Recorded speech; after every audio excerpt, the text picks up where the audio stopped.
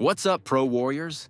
Imagine playing your favorite Nintendo Switch games right on your Android phone. Sounds unreal, right? Well, the new Nyushu Nintendo Switch emulator is officially available for Android devices, and it's blowing minds with its performance. It comes with an updated control layout and significantly improved compatibility. Today, we're going to test if it can handle the heat on a low-end Android device. That's right, we're talking MediaTek processors, Mali GPUs, and less than 6 gigabytes of RAM. I'll guide you through the setup steps, show you the best settings, explain how to add Q Launcher, and together we'll see just how well it runs Nintendo Switch games. If you find this video helpful, please make sure to like and subscribe to our channel, and don't forget to hit the bell icon so you never miss an update.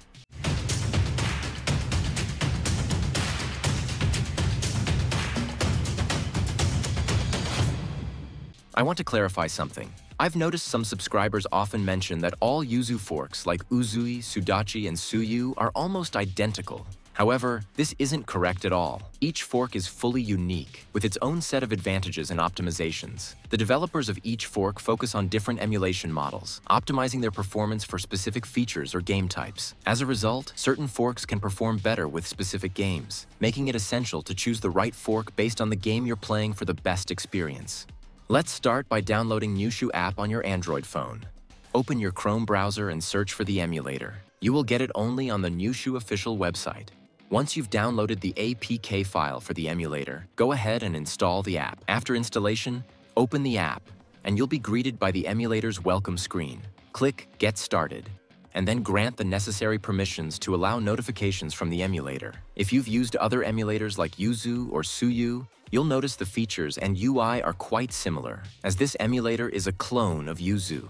Next, the emulator will prompt you to enter your production ID or product keys. Without these keys, you won't be able to run any games. Unfortunately, I can't provide direct links to these keys, as it would violate YouTube's community guidelines. Select them from your file manager, and the emulator will confirm that they've been successfully installed. The emulator will then ask you to locate your games folder. Once the folder is added, Nyushu will automatically detect and display the games in your library. Wait, at this point, you might be wondering where I got these games and which ones you should try first. Before you jump into any game, it's important to know whether it's playable on the emulator. Yuzu has a compatibility list on their GitLab page, which I've linked in the description. From there, you can check if your favorite game is supported. Make sure you unzip the game files and move them to the games folder. After that, tap Use this folder at the bottom to allow Uzuy Edge access. Now tap Deep Scan and let the system finish setting up the default configuration. Just click Continue. Here's our game list. But before we start playing, let's configure a few settings. Click on the gear icon in the bottom right corner, then select Advanced Settings and open the General tab. I recommend turning off the limit speed option so the emulator can make use of your device's full resources. If you enable docked mode, it will increase the resolution but may reduce performance, so leave it disabled if your device isn't powerful enough. In the Graphics section, set the CPU accuracy on normal. You can increase the resolution to 4x, but I suggest using your device's native resolution for smoother gameplay. Higher resolutions demand more power, so adjust according to your device's capability. Here set Vulkan as API because it provides best performance.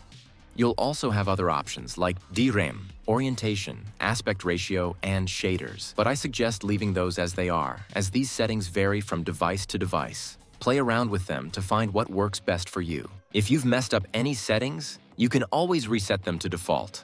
Next, head back to the main settings menu where you'll find an option to install custom GPU drivers. By default, it selects your device's GPU, and you can install custom GPU for best performance. I've included a download link for these drivers in the description. Please note that only Snapdragon processors are currently supported for custom GPU driver installation. If you're not using a Snapdragon device, unfortunately, you won't be able to install GPU drivers. If you want to add Q Launcher, you need to install firmware. Open Manage Nyushu Data, then select Install firmware.